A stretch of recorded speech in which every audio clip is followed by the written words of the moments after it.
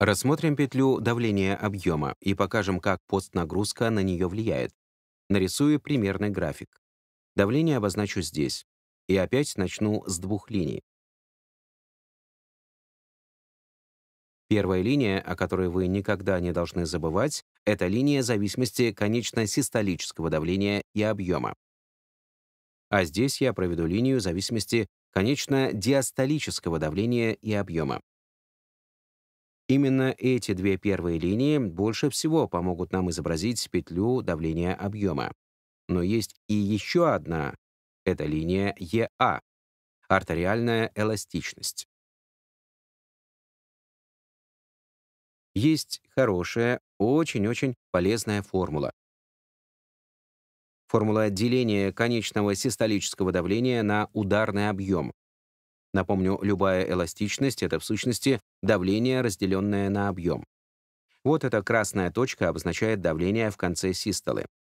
А красная точка вот здесь, где линия эластичности пересекает ось X, означает объем. Это очень полезно, потому что можно быстро выяснить величину ударного объема. Вот здесь обозначим ударный объем. График почти готов. И вот теперь я могу нарисовать петлю давления объема. Так, давайте потихоньку начнем. У нас может возникнуть соблазн сделать пересечение здесь, в точке, где проходит пурпурная линия. Но помните, что нужно продвинуться немного дальше, потому что это не та точка, где будет объем. Он будет немного дальше. Поэтому я немного продолжу эту линию. Первую линию я провел, чтобы показать вам возможную ошибку. Но она пересекается не здесь. Затем следует сокращение и выброс крови в аорту. Это петля давления объема. Вот как она выглядит. На ее вершине находится выброс. Как я уже говорил, во время выброса кровь выталкивается из левого желудочка в аорту. Я обведу эту часть графика. Это выброс.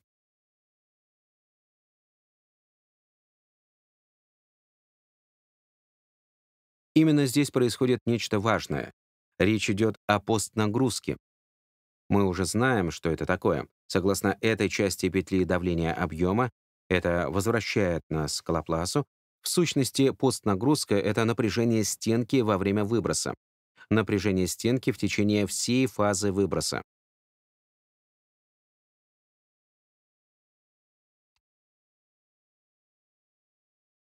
На самом деле мы это упростили, точнее выписали в соответствии с законом Лапласа то есть давление умножить на радиус левого желудочка во время выброса и разделить на двукратную толщину стенки во время выброса. Такова формула постнагрузки. Нужно помнить, что сама она происходит в течение всего выброса, в течение всего отрезка, который я отметил.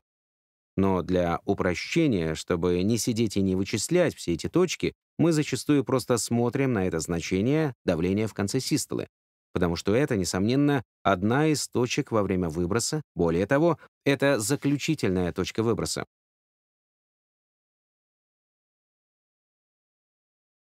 Поэтому это значение часто используется для расчетов постнагрузки.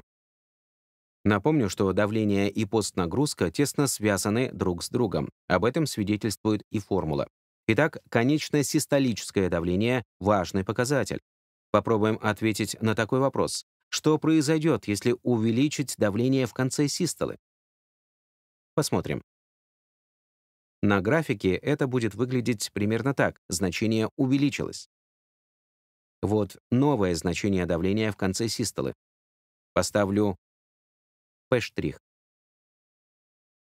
Изменилось давление в конце систолы. Посмотрим, что еще изменится. Нас интересует именно это. Первое, на что обращаем внимание, это линия опускается вниз. Давление повысилось, ударный объем уменьшился.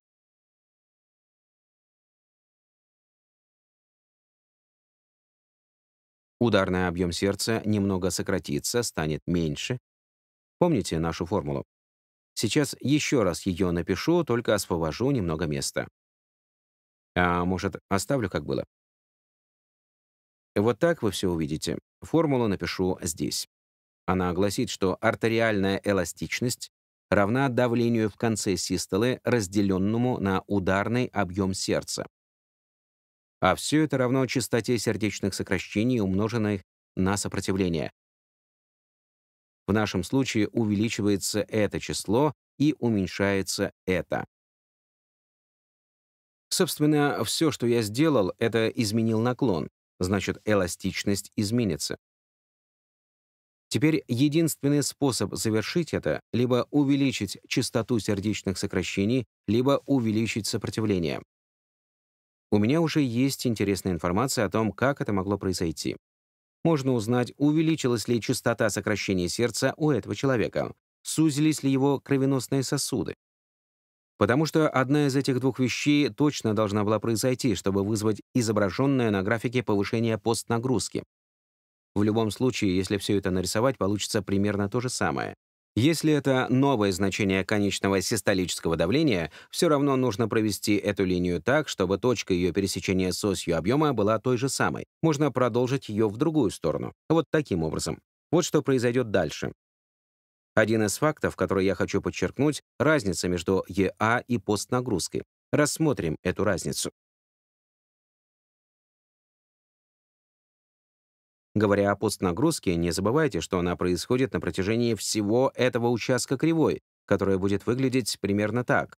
Вот эта часть — это постнагрузка. Мы прибегли к упрощению, упростили постнагрузку до значения давления в конце систолы. Но на самом деле постнагрузка — это больше, чем одна эта точка.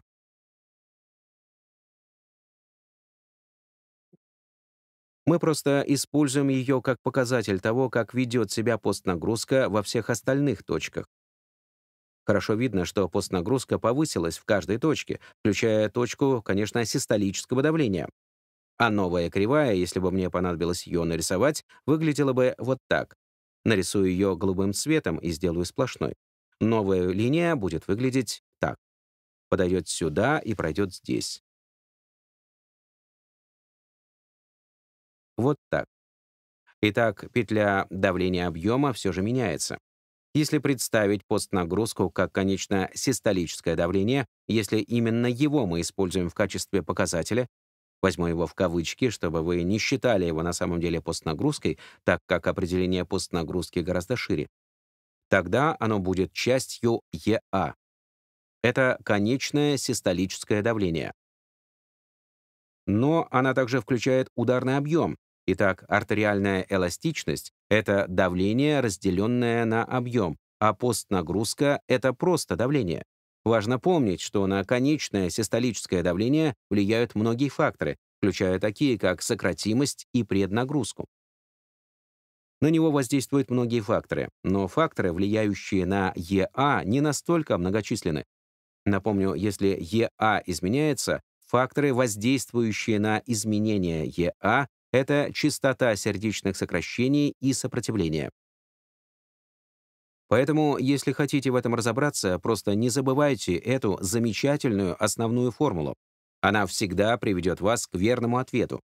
Если вы рассматриваете постнагрузку, вы учитываете все, что может влиять на постнагрузку, включая преднагрузку и сократимость. Все эти факторы могут влиять на график постнагрузки, так как они изменяют ударный объем сердца. Когда мы говорим об эластичности, единственными факторами, изменяющими ее, являются частота сердечных сокращений и сопротивление. Все это ясно из формулы. Но многие путают термин «артериальная эластичность» с термином «постнагрузка», думают, что это одно и то же. Они тесно взаимосвязаны, но это не одно и то же. Итак, в нашем случае мы увеличили артериальную эластичность либо с помощью увеличения частоты сердечных сокращений, либо посредством увеличения сопротивления. Но можно было бы также уменьшить частоту сердечных сокращений и сопротивления, и мы бы обнаружили уменьшение артериальной эластичности.